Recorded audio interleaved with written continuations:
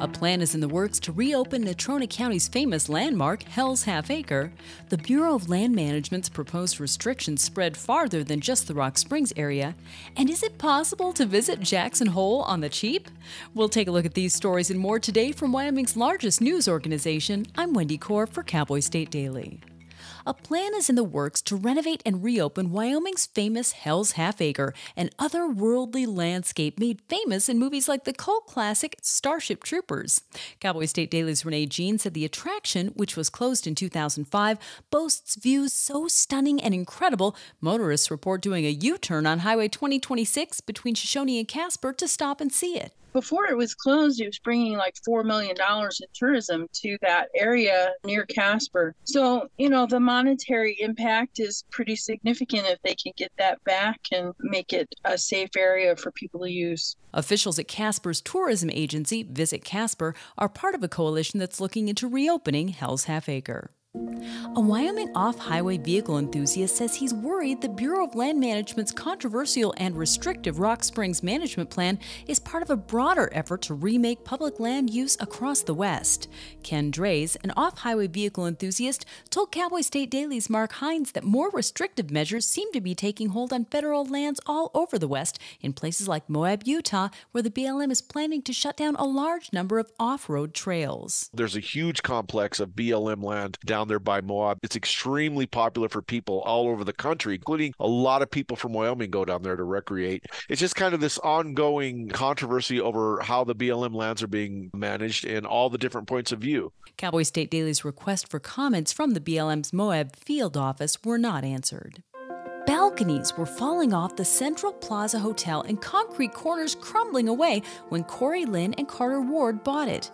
But today is a new day, and Cheyenne's 88 room hotel has been christened with an old name, the name that it had when it was first built in 1961, the Downtowner. All rooms have passed their official inspections after being gutted and remade into new and better spaces, including kitchenettes with brightly colored toasters and microwaves and even micro dishwashers. Two of the Downtowner's finished units were on display for a grand opening Friday night, and the words wow and so beautiful were heard often as members of the general public had an opportunity to experience the changes. Even though it was a little behind their preferred schedule, the Downtowner has been finished just in time to provide housing for incoming workers who might be involved with the missile retrofit at F.E. Warren Air Force Base. I'll be back with more news right after this. At Hilltop Bank, we understand that buying a home is a big decision. That's why we're here to be your trusted partner on the path to home ownership. Our experienced mortgage team will guide you every step of the way, from pre approval to closing. We offer competitive rates and a wide variety of home loan options to best suit your needs. With our local knowledge and personalized service, you'll feel confident and comfortable throughout the entire home buying process. Contact us today to start your journey toward home ownership. Hilltop Bank, member FDIC, equal housing lender.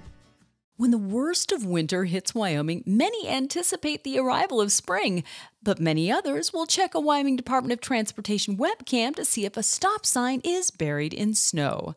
October 31st is the last day to enter the Wind River Outdoor Company's sixth annual Stop Sign Snow Challenge.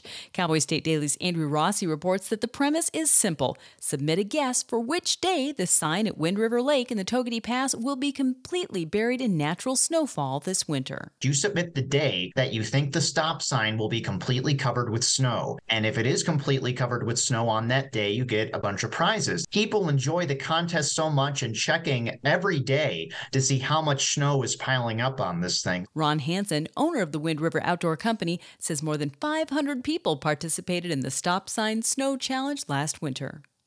And Teton County is the wealthiest county in the nation. Is it possible to even visit the place without breaking the bank? Cowboy State Daily's Jake Nichols says it's doable, but timing is everything. Visiting the Tetons in October and November can be magical and money managed far better when the crowds are gone. For instance, hotel rooms that were $900 a night in July are 130 bucks now. Read Jake's full story on cowboystatedaily.com where he gives the lowdown on everything Jackson Hole, from camping to restaurants to sightseeing.